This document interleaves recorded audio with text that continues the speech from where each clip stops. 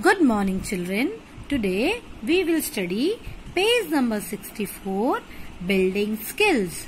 See children, some subtraction problems may not have all the information. Sometimes story sums are given to us and we are asked to solve it. But when complete information is not given, we can't solve it. Let us understand it with the help of example. Amrita's granny gave her rupees 200 for Diwali. Amrita used some of it to buy a book. How much money was left with her?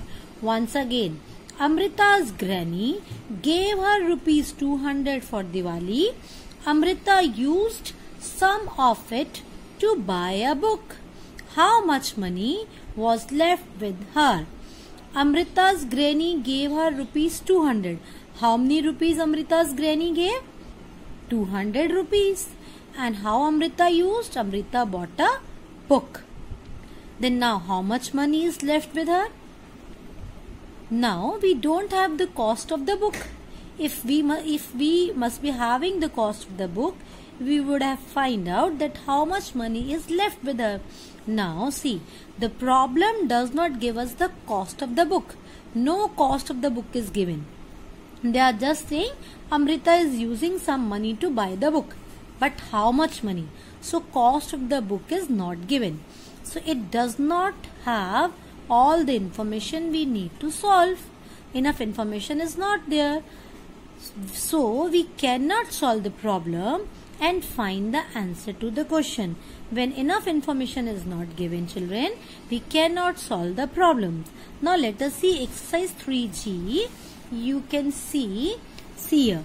Some of the subtraction problems given below may have all the information you need to solve. They're saying some of the story sums may be having all the information and others may not have enough information. Hana? For the ones that do not have all the information, you need to write not enough information and rest we can solve it. Let us see first example. A carton of 200 biscuit packets has 125 chocolate biscuits. The rest are jam biscuits. How many packets of jam biscuit does it have? Once again we'll read the story sum. A carton of 200 biscuit packets has 125 packets of chocolate biscuits. The rest are jam biscuits. How many packets of jam biscuits does it have? A carton of 200 biscuit packets. How many biscuit packets in a carton? 200 biscuit packets. Okay. And how many chocolate biscuit packets? 125. So rest are jam. Jam biscuit packets. How we will solve it? Let's see. Total number of biscuit packets in a carton? 200. Number of chocolate biscuit packets equals to 125. You can subtract 125 from 200 and you can find out number of jam biscuit packets. Now we have all the information here so we can solve it easily. We will subtract and find out the answer and we'll write after subtraction dash jam biscuit packets are in the cartoon. So we have finished. This way we can solve because enough information is there. Let's see second example. Preetham's mother baked 656 butter biscuits and some cashew biscuits for school fete. How many more butter biscuits than cashew biscuits did she bake? See children once again. Preetham's mother baked 656 butter biscuits. How many butter biscuits she baked? 656 and some cashew biscuits for the school fete. Some cashew biscuits. Number of cashew biscuits are not given.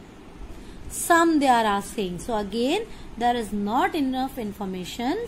So we can't solve it and we will write here not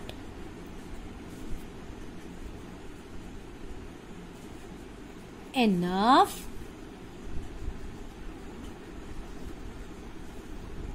information because number of cashew biscuits are not given.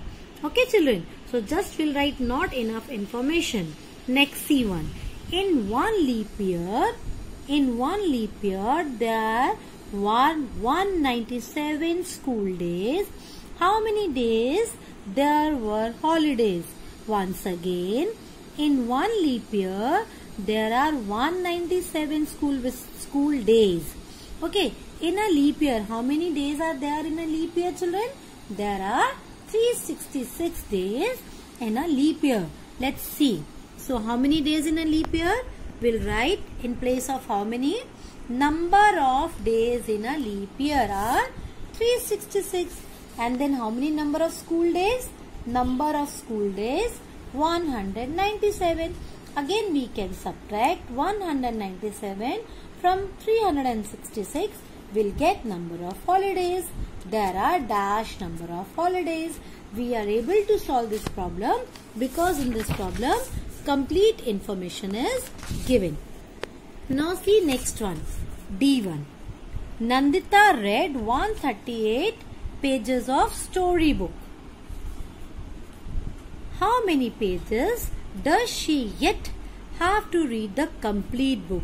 See children, Nandita read 138 pages of storybook. That's an okay. But how many pages does she yet have to read to complete the book? Now we don't know how many total pages are there in a book. So again we are not having complete information. We will just write not enough information.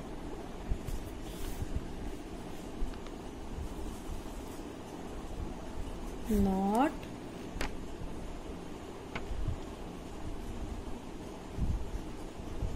enough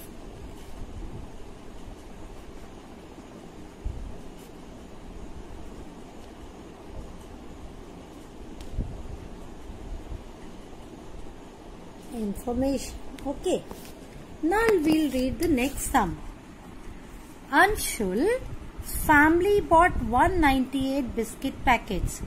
How many biscuit packets Anshul's family bought? 198 packets of milk in the month of January and February. Anshul's family bought 198 packets of milk in the month of January and February. How many packets did his family buy in the February alone? Total they are telling that they have brought 198 packets of milk in the month of January and February.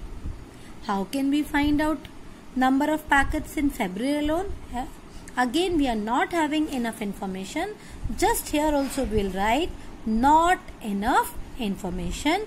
We can't solve this sum also because enough information is not there.